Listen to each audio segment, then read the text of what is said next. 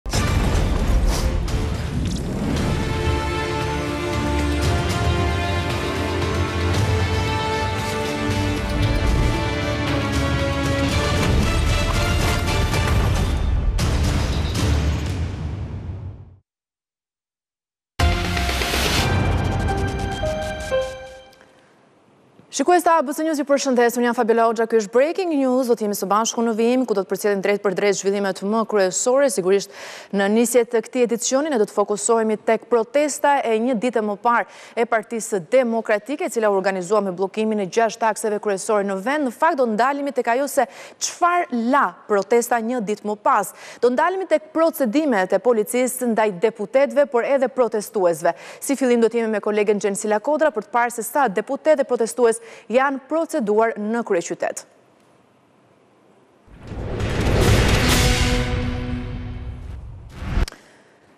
Xhensila të përshëndes, bllokim rrugësh, kundërshtim të punonjësve të policisë, djegie gomash e gjithçka tjetër, bëri Partia Demokratike një ditë më parë. Një ditë më pas, çfarë po ndodh? Po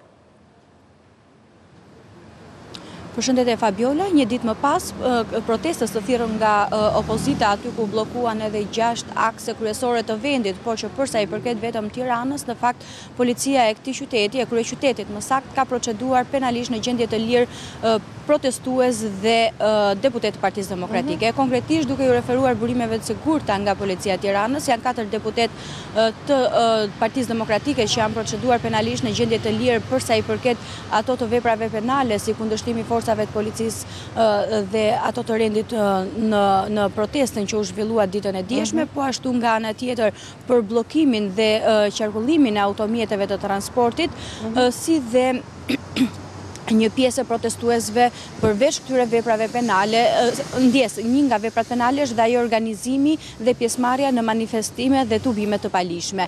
Por nga ana tjetër, një pjesë e protestuesve janë të proceduar edhe për djegien e gomave që bënë ditën e djeshme gjatë protestës. Katër deputetët e Partisë Demokratike që janë proceduar në gjendje të lirë për këto akuza, në fakt janë Albana Vokshi, Xhelal Mziu, Flamur Noka dhe Aslan Dogjani, ndërsa pjesa tjetër janë protestues, të paktën tridhjetë protestues sipas burimeve të sigurta nga Policia e Tiranës. Pritet të ketë identifikime të tjera, mund të themi nga ana e policisë dhe e forcave të rendit për të parë kush ishin persona të tjerë, duke qenë se një pjesë e këtyre, duke iu referuar dhe burimeve nga policia, një pjesë e këtyre personave ishin lehtësisht të identifikueshëm nga ana e policisë, duke qenë se kanë qenë edhe pjesëmarrës apo protestues edhe në protestat e mëparshme dhe që kanë kundërshtuar edhe më herët forcat e rendit dhe ato të policisë. Le të themi janë figura të njohura në radhë të protestuesve. Po, po, janë emra të njohur dhe figura të njohur po ashtu edhe për policinë e Tiranës, duke qenë se një pjesë e tyre kanë qenë edhe të proceduar më herët për sa i përket tubimeve apo protestave të organizuara nga Partia Demokratike. Mhm. Mirë, Xhensila faleminderit. Faleminderit për këto informacione, këtë raportim Të drejtpërdrejtë, veç Tiranës, edhe në Elbasan ka patur situatë të krijuar nga protesta e ditës së djeshme. Sigurisht, policia do të vijojë dhe vijon në fakt edhe në këto momente hetimet për ata deputetë apo protestues të cilët kanë shkelur, le themi, rregullat apo ligjin ditën e djeshme. Për të folur për këtë, ne do të jemi në këto momente me kolegen Edisona Skënderi.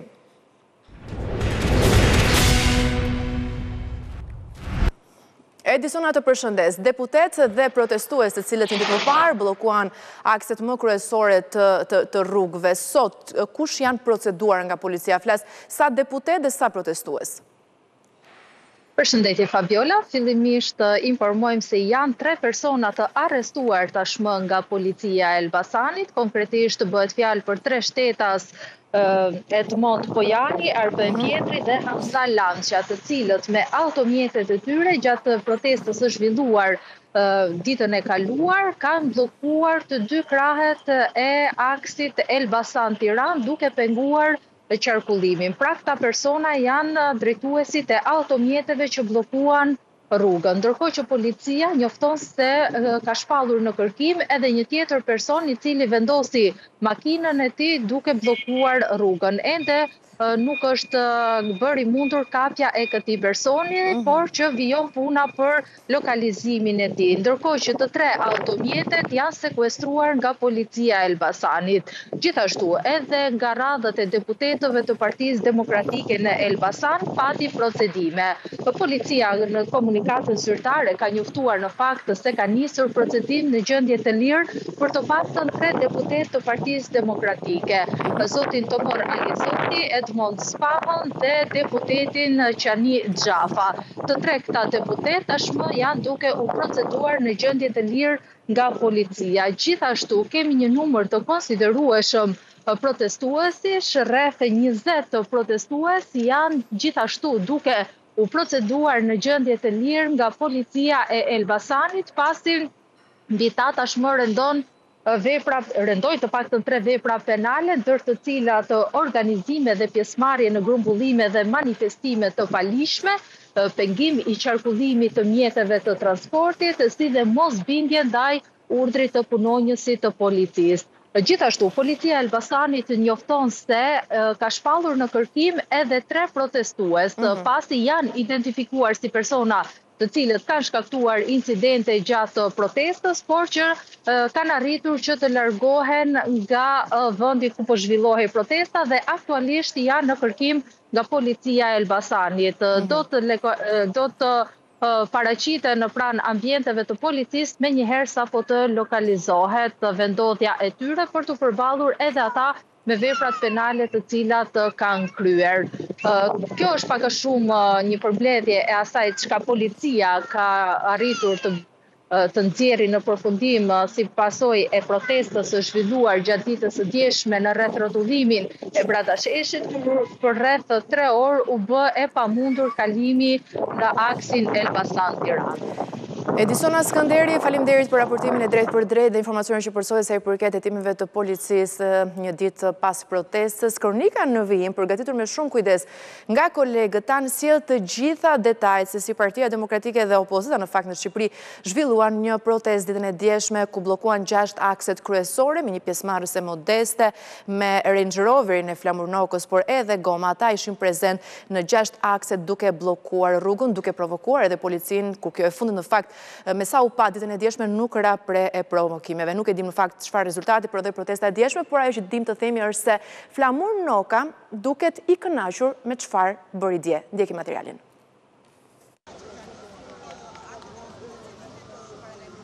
Me Range Roverin e Nokës dhe makinat mijëra euro të deputetëve të Berishës dhe Metës, nisi bllokimi i lëvizjes tek rrethrrotullimi i sheshit Shqiponja në Tiranë. Pjesëmarrja gjithnjë e më e pakët, por gomat dhe flakët nuk munguan. Protestuesit i kishin marrë disa goma me vete si për të treguar simbolikën që tashmë i përfaqëson. Nuk mungoi as Kali i cili si një protestues besnik nuk mungon në asnjë protestë të opozitës.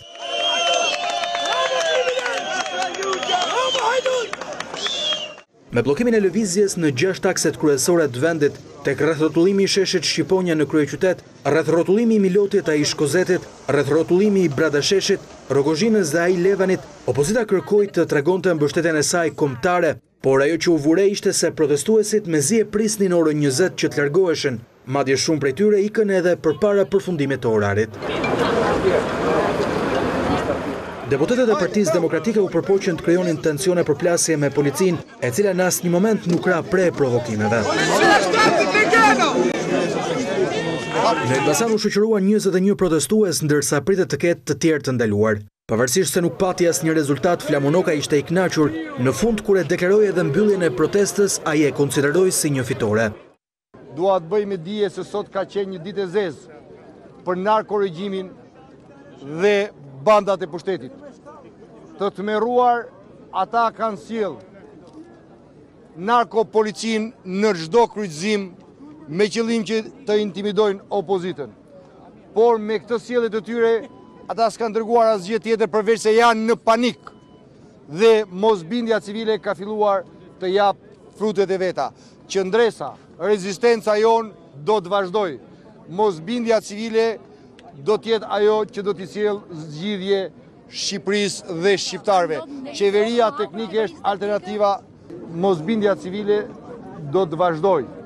Do t'ju njoftojmë Një qytetar e humbi durimin nga pritja 3 orë në makinë. Kam punu gjithë ditën, kam vjelë, kam arkën këtu. Ja karroca. Çfarë kërkon ti? Kam, mund të hapë rrugën të shkoj shpi ke gruaja, se po vdes gruaja. A more vesh se kam smurë moj. Mi mos kam faj për hap rrugën mund të iki unë shkoj ke plaka ime. Ndërsa dikush harroi që ishte në protestën e Berishës. Poshtë komunizmi, rroftë Edi Rama, do me gjithë Tirana i ka ofruar një pritje të posaçme Fredi Belerit në kthimin e tij të parë në Shqipëri si eurodeputet grek. Fyerje, vezë, kos por edhe akuza për vrasje ranë mbi ish-kryetarin e Bashkisë së Himarës i dënuar për blerje votash, ndërsa ishte pjesë e një delegacioni prej dhjetë eurodeputetësh. Belerit i kujtuan edhe dy emrat e ushtarakëve të vrarë në vitin një mijë e nëntëqind e nëntëdhjetë e katër në kufi me Greqinë për të cilët ai u akuzua por kurrë nuk u dënua.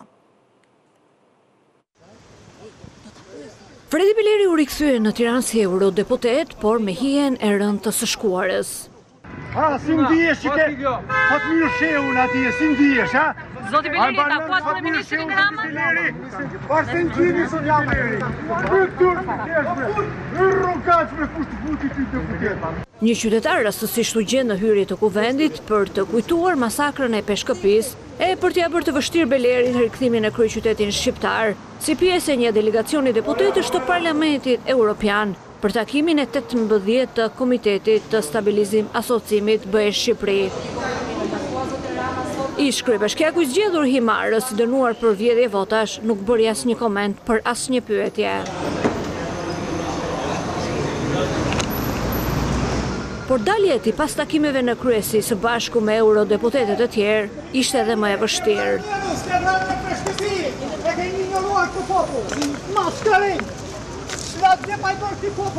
Qytetari veç ofendimeve nga distanca e sulmoi dhe me vezë e kos. Qytetari i rebeluar e ndoqi përgjatë gjithë bulevardit, duke hedhur kosin drejt Belerit. Rebelimi i qytetarit, Dilaver Nela, i njohur në rrjetet sociale dhe si aktivist, shpjegoi arsyet që e çuan drejt sulmit të Belerit dhe ato lidhen me të shkuarën e nëntëdhjetë e katër-ës, por edhe të fundit me dënimin për vjedhje votash. Sepse ka vranë njerëz, ka vranë në Peshkëpi, harroni ushtarin, harroni oficerin, Fatmir Shehun, harroni për tentativën që deshi të vrasë në Llongo, i harroni të gjitha këto, Harroni edhe që i ka shpëtuar burgut me procedura se duhet të ishte në burg. Harroni 200 mijë shqiptarë që i kanë dëbuar nga Greqia vetëm dhe vetëm sepse kanë shkelur kufirin për bukën e gojës. Kurse ky ka vrarë gjithë ata njerëz dhe kur vje puna sot vjen këtu dhe na imponohet na bën karshillëk me ndihmën e evropianëve. Ç'i duhet atij në këtë vend? Ka vjedhur vota, më e dini të gjithë. Por ky nuk ishte i vetmi moment i sikletshëm për Belerin me sa duket. Këtë të martë herët në mëngjes delegacioni i eurodeputetëve kishte të planifikuar një takim me kryeministrin Rama, por duket se kreu i qeverisë e ka shmangur me qëllim institucionin, duke zhvilluar takimin në hotel. Te ky takim nuk ka qenë Beleri, edhe pse në fillim u tha se ai do të ishte pjesë e të gjitha takimeve. të parashikuara në axhendën zyrtare.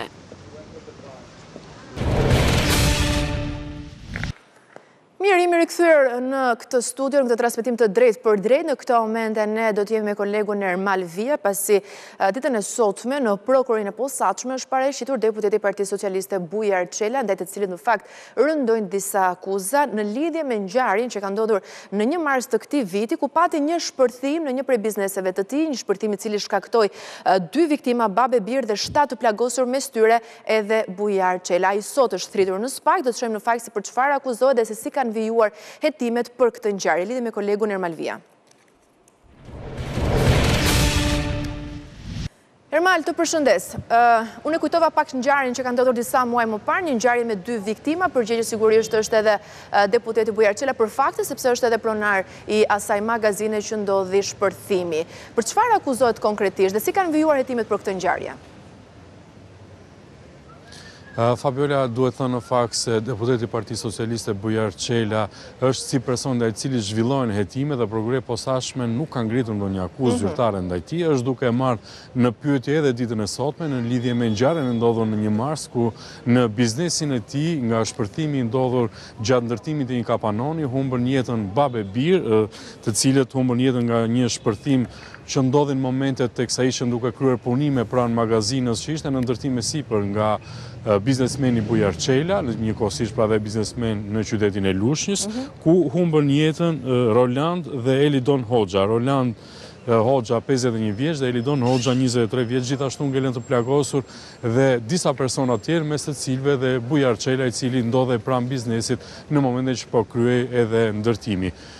Fillimisht ka qenë Prokuroria e Fierit që ka nisur hetimet në lidhje me shkaqet e ngjarjes, ku ngriti disa akuza, siç është ajo e shkatërrimit të pronës, për pengim po themi të punimeve apo dhe vepra të tjera penale për të cilat u morën nën hetim disa persona, pati dhe arrestime në atë kohë, por më pas u liruan nga ana e Gjykatës së Posaçme. Fillimisht ka qenë Prokuria e Fierit që shpalli moskompetencë, për shkak se pjesë e veprimeve hetimore ishte dhe deputeti Çela, e më pas e delegoi çështjen në Prokurinë e Posaçme. Nga ana tjetër, Prokuria e Posaçme ka urdhëruar një akt ekspertimi për të parë shkaqet e shpërthimit që ndodhi në datën një mars, që sikundër e përmenda i mori jetën dy personave dhe la të plagosur disa, disa të tjerë, ndërsa ditën e sotme është thirrur nga prokurori Sotir Kllapi edhe deputeti Çela për të dhënë sqarime në lidhje me atë që ka ndodhur në datën 1 mars. E kuptoj. Mirë, Ermal, faleminderit për, për këto informacione, sigurisht që nëse do të ketë zhvillime apo deklaratë nga vetë deputeti, do të jemi sërish në lidhje të drejtpërdrejtë, ndërkohë ne vijojmë me të tjera zhvillime, Gjykata e Posaçme vendosi nën sekuestro një apartament të Ilir Beqajt, në zonën e Lungomares në Vlorë. Spak thotë se ish-ministri i arrestuar e kishte fshehur këtë pasuri të cilën e kishte regjistruar në emër të një personi tjetër. Me kërkesë të Prokurorisë Gjykata e Posaçme ka vendosur nën sekuestro një apartament në pronësi të ish-ministrit Ilir Beqaj, që mbahet i arrestuar për abuzimin me fondet, në kohën që drejtonte agjencinë e Saspak. Bëhet fjalë për një apartament në Lungomare të Vlorës, me sipërfaqe rreth njëqind e gjashtëdhjetë e gjashtë metër katrorë. Ish-ministri sipas Spak e kishte fshehur këtë pasuri, duke e regjistruar në emër të një personi tjetër, ndërsa ka qenë pronar i vërtetë i kësaj banese, për të cilën pretendonte më herët se nuk ishte e tija. Ndërsa në korrik të këtij viti me urdhër të spak, është ushtruar kontroll në këtë apartament, ku edhe janë gjetur dhe të dhëna me interes për hetimin, në lidhje me hetimet për dosjen me abuzimin me fondet e Bashkimit Evropian. Sipas prokurorisë ka rezultuar se në vitin dy mijë e gjashtëmbëdhjetë një person i afërt i Ilir Beqajt ka lidhur kontratë pronësie me firmën ndërtuese dhe më pas ka prenotuar apartamentin në vlerën e gjashtë milionë e shtatëqind mijë lekëve. Një vit pas firmosjes së kësaj kontrate, prokuroria thotë se ka nisur investimi dhe mobilimi i apartamentit, por jo nga pronari që e bleu me dokumenta, por nga ish-ministri Ilir Beqaj dhe bashkëshortja e tij, duke investuar më shumë se pesë milionë lekë. Nga ana tjetër, Beqaj është arrestuar në korrik të këtij viti për abuzimin me fondet e SASPAK për periudhën kur ka qenë drejtues i Agjencisë së Koordinimit të Fondeve të Huaja, Gjithashtu, Ilir Beqaj është marrë i pandehur edhe për shpërdorim detyre, në lidhje me hetimet për koncesionin e sterilizimit të pajisjeve kirurgjikale. Durim Bami u kërkon autoriteteve arabe të mos e deportojnë në Shqipëri, pasi sipas tij rrezikohet jeta. I shumëkërkuari i Niklës u arrestua dy ditë më parë në Dubai, ndërsa mbahej nën mbikëqyrje policore. Autoritetet e drejtësisë së Emirateve të Bashkuara Arabe pritet të vendosin më datë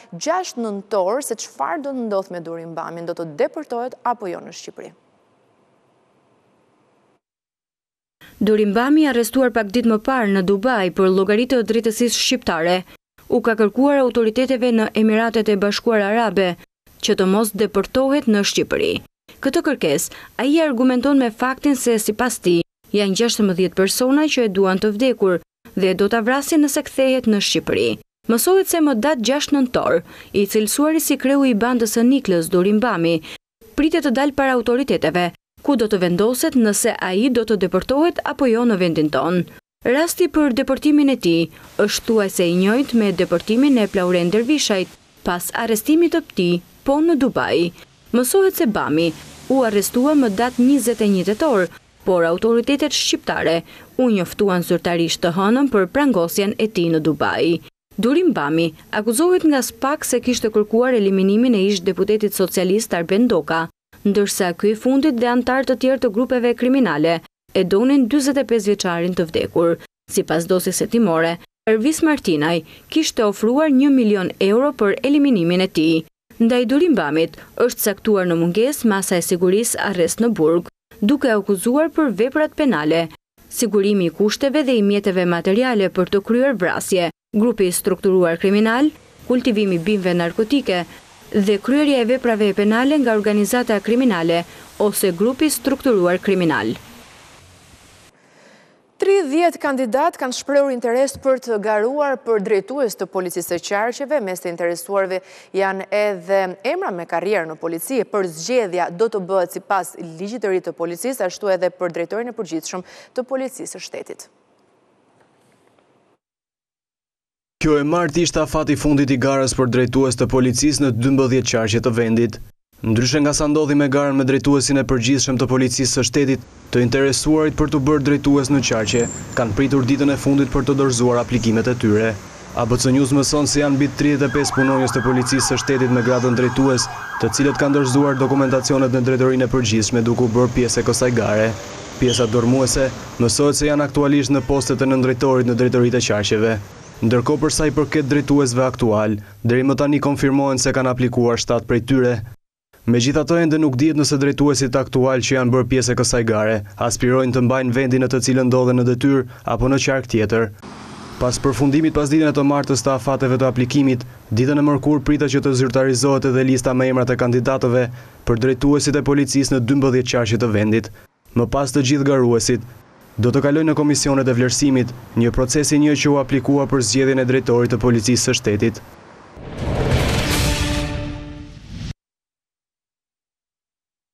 Në këtë transmetim të drejtpërdrejtë kemi kaluar në zhvillimet e ekonomisë. Infrastruktura do të zërë pjesën më të madhe të investimeve vitin e ardhshëm. Më shumë para do të marrin projektet që kanë nisur, kryesisht në rrugë, autostrada, porte dhe hekurudha. Në total, për investimet publike në buxhetin e dy mijë e njëzet e pesë, parashikohen njëqind e gjashtëdhjetë e një pikë tetë miliardë lekë ose gati një pikë gjashtë miliardë euro. Gjatë vitit të ardhshëm pritet të mbarojnë akse të rëndësishme si Rruga e Arbrit, Unaza e Madhe e Tiranës, Aeroporti i Vlorës dhe hekurudha Tiranë-Durrës.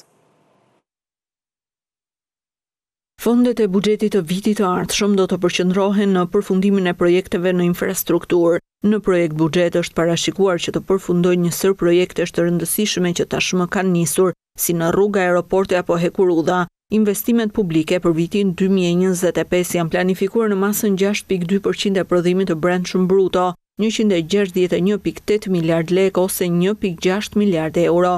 Në raport me buxhetin e rishikuar të këtij viti, vëllimi i investimeve publike në vitin e ardhshëm parashikohet që të rritet me rreth njëmbëdhjetë miliardë lekë. Disa kantiere të reja që pritet të nisin në vend janë segmente të tjera vijimi i autostradës Thumanë-Kashar, Në këtë mënyrë pritet që vitin që vjen të nisë ndërtimi i segmenteve Kashar-Lekaj, e cila do të jetë një gjurmë plotësisht e re me vlerë pesëdhjetë e gjashtë pikë shtatë miliardë lekë, Lekaj-Fier dhe Milot-Thumanë.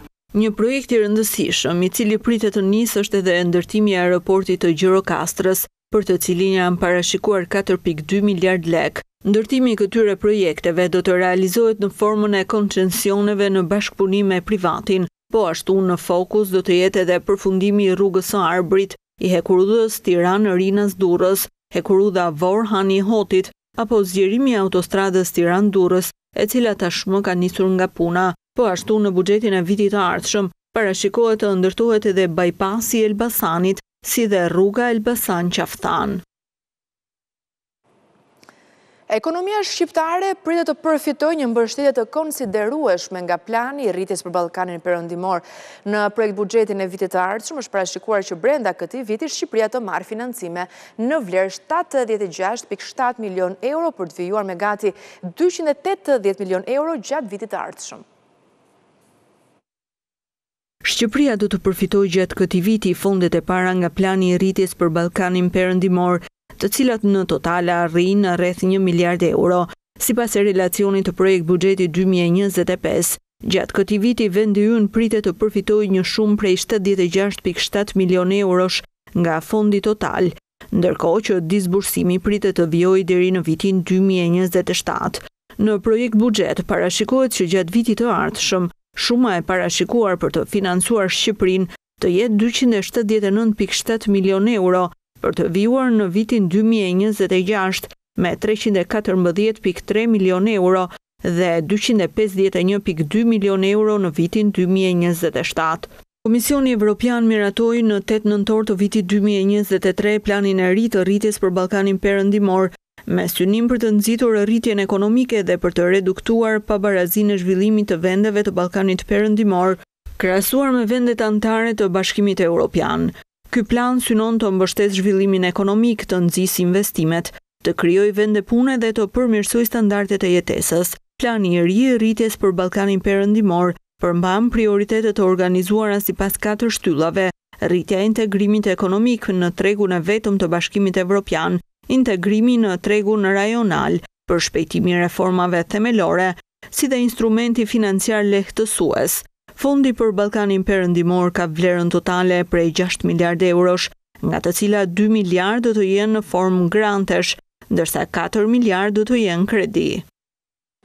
Salerno dhe Shtutgarti janë dy linjat e reja të shtuara së fundmi në listën e Aeroportit Ndërkombëtar të Tiranës, fluturime direkte me kompaninë ajrore Wizz Air vijnë si një mundësi për të gjithë pasagjerët që kërkojnë të eksplorojnë disa nga destinacionet më tërheqëse të Europës.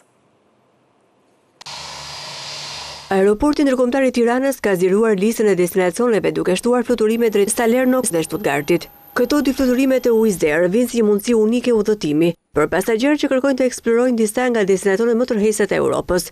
Aeroporti Ndërkombëtar i Tiranës, me rritjen më të madhe në Europë, për sa i përket numrit të pasagjerëve, është kthyer tashmë një lidhës kryesor në Ballkan për udhëtarët drejt Europës, Lindjes së Mesme dhe më gjerë.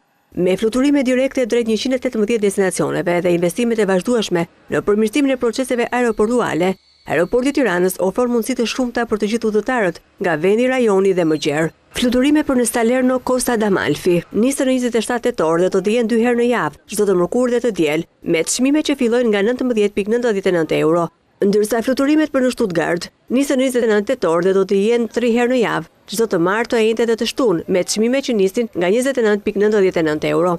Aeroporti Salerno Costa d'Amalfi është i pozicionuar në mënyrë të përshtatshme për të lejuar udhëtarët të kenë akses lehtësisht drejt destinacioneve të njohura si Positano, Amalfi dhe Ravello, duke ofruar një mundësi ekskluzive për të vizituar vijën mbresëlënëse bregdetare, kulturën dhe kuzhinën me famë botërore. Nga ana tjetër Shtutgarti është një qendër kryesore për industrinë automobilistike dhe një destinacion joshës për ata të cilët janë të apasionuar pas historisë, kulturës dhe kuzhinës vendase. Aeroporti Ndërkombëtar i Tiranës nën menaxhimin e Kastrati Group mbetet i angazhuar për të përmirësuar më tej eksperiencën e udhëtarëve, duke investuar vazhdimisht në përmirësime teknologjike për të mbështetur rritjen e numrit të pasagjerëve dhe ruajtjen e standardeve të mira të shërbimit. Një rikonfirmim i pozicionit kyç si qendër udhëtimesh për të gjithë rajonin. Dhe kemi ardhur në fund të Breaking News për më tepër si gjithmonë ju kujtoj të klikoni në webin tonë abcnews.al për të gjetur atje të gjitha zhvillimet më të rëndësishme nga vendi, rajoni dhe bota në radio, gjithashtu ju mund të na ndiqni në frekuencat 105 FM. Mirë, do të ketë një shkëputje shumë të shkurtër më pas në orën 11 do të jetë kolega Kasandra Pali në Shqipëria sot. Faleminderit që na ndiqni.